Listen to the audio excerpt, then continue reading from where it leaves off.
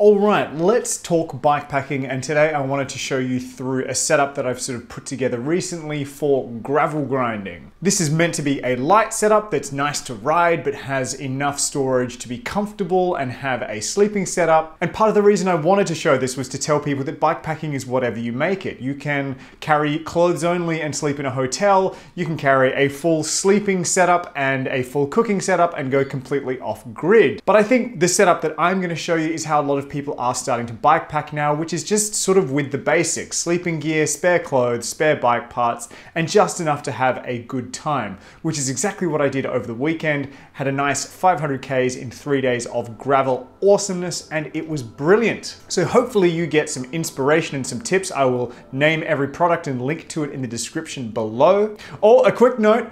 I don't know what it weighed. I'm a cyclist. I'm far too weak to weigh a fully loaded bike. I'm also too lazy to weigh a fully loaded bike because I don't really care. Let's do it! The heart of the bike is the Bossi Grit titanium frame, and this is really the most abused review bike I've ever had. It's a very well made and comfortable gravel grinding machine, with really just a couple of complaints from me being the water bottle cages are a little bit too high and there's no under down tube mount. Apart from that, it's been a very reliable and faithful frame, so let's look at the setup.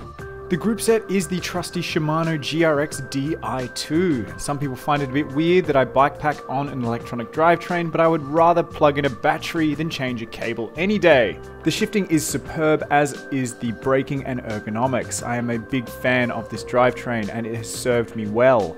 Tyres are the ultra fast Pirelli Cinturato Gravel H in 650B by 45mm. These just roll insanely quickly and they're a little bit narrower than I would have chosen, but the 650 by 50 wasn't available. Still though, a great fast rolling gravel tyre. These wheels are from Bossi as well, and they are carbon 650B. I don't even know what they're called because I don't think they've been released yet, so uh, Spoiler alert, there's a new wheel from Bossi, and they're very good. Light, fast rolling, and super wide and super comfy. Really big fan of these. In the frame, we have the Apidura Racing Frame Pack. I like how it's easy to get in and out of, and I like the fact that it's weather sealed. Just be mindful that the material covering the zip is quite sharp, so it'll rub you raw if you brush your legs against it. Up the front we have the Apidura Expedition handlebar pack in 14 litres. I like the way you can scrunch it down if you are not running it full and I like the fact that it's waterproof. Clipped onto the front is the Apidura Expedition accessory pocket. Now this has to go on this handlebar bag so you can't put it on any others. I like the location of this, it's a convenient place to put food and snacks and whatnot, but you need to be aware that if you're running a bike with a big tyre, it can drop onto it. I've had this happen before on previous bikepacking trips and that's why it looks a little chewed up.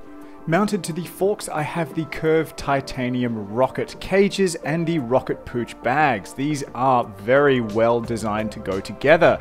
The bags have a simple Velcro locking system that puts them onto the cages with the top roll section being waterproof and a nice little sneaky section on the bottom not being waterproof but still being a handy place to stash things.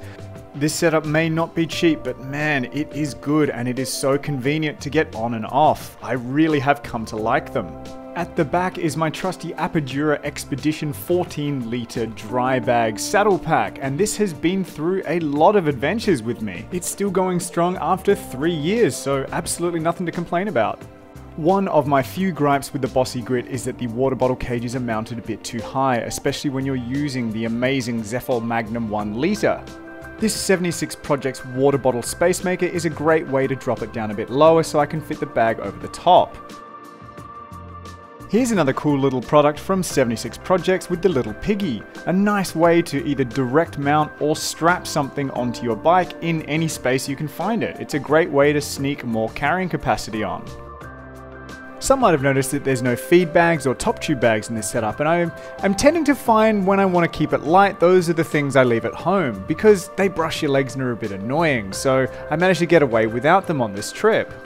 That left more space for the excellent exposure joystick light and the uh, Wahoo Element Roam, which is not pictured. Bar tape is Ciclovation Grind Touch. It's very thick, it's very tacky, and it's very comfortable on the hands. I'm quite a fan of this stuff.